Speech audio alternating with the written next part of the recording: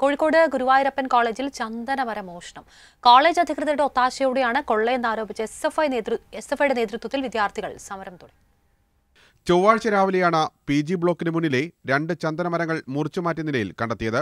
സമീപത്ത് മറ്റൊരു ചന്ദനമരം മുറിക്കാനും ശ്രമം നടത്തിയിട്ടുണ്ട്. സി സി ടി വി ക്യാമറയ്ക്ക് മുന്നിൽ നിന്ന മരങ്ങളാണ് മുറിച്ചു കടത്തിയത്.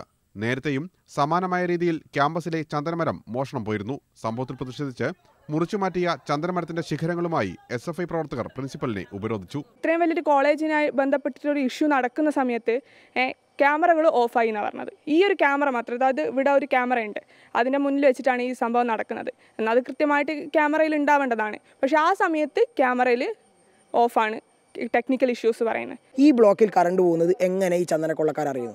അത് ഇവർ തമ്മിലൊരു ടേംസ് ആയിരിക്കണ്ടേ? പ്രിൻസിപ്പലിന്റെ പരാതിയിൽ കസബ പോലീസ് കേസെടുത്ത് അന്വേഷണം തുടങ്ങി. വനംവകുപ്പും അന്വേഷണം നടത്തുന്നുണ്ട്.